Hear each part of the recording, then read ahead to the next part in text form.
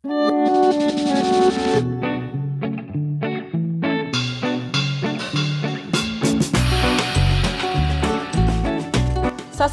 udah pernah buat es rujak serut buah sendiri di rumah? Sensasi rasanya yang seger, pedes, manis yang menjadi satu emang gak bakalan sanggup buat menolaknya. Nah biar makin mantul, sajian sedap punya tips jitunya nih. Tonton video tipsnya sampai habis dan langsung dipraktekkan di rumah ya. Pertama, perhatikan pemilihan buahnya. Buah yang digunakan untuk membuat rujak memang bervariasi ya Saselovers. lovers tapi sebaiknya gunakan buah yang punya tekstur mengkal atau yang tidak terlalu matang ya.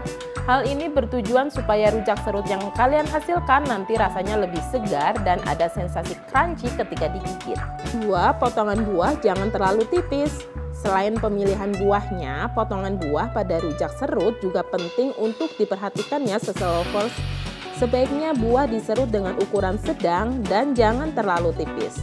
Hal ini bertujuan supaya buah tidak mudah layu nantinya dan masih memberikan tekstur crunchy yang nikmat saat disantap. Sebagai opsi, kalian juga bisa mendinginkan buah-buahannya terlebih dahulu. 3. Gunakan gula merah. Untuk menghasilkan rujak buah yang lebih nikmat, jangan lupa untuk menambahkan gula merah ke dalam kuahnya ya. Selain bisa membuat rasa kuah rujak semakin sedap, penggunaan gula merah juga bisa memberikan warna kuah rujak semakin menarik. Untuk rasa, gula merah dipilih karena tidak terlalu manis dan cocok dipadukan dengan kesegaran dari asam buah yang alami. 4. Tambahan bahan asam Mau rujak serut buatanmu semakin segar lagi?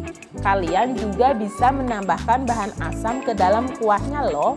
Bahan-bahan asam tersebut bisa cuka, lemon, jeruk nipis, atau asam jawa.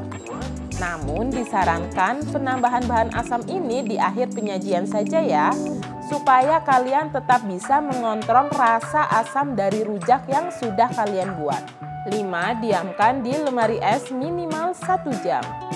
Siapa yang setuju kalau rujak semakin enak disantap dalam keadaan dingin?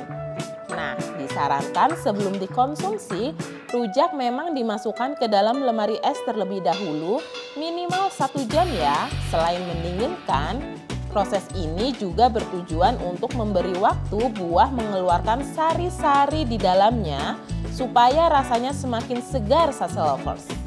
Gimana? Udah kebayang belum kesegaran rujak yang bakal kalian buat? Kalau udah, langsung klik resep di atas dan jangan lupa praktekkan video tips yang barusan tadi ya. Sampai ketemu di video tips lainnya. Bye-bye.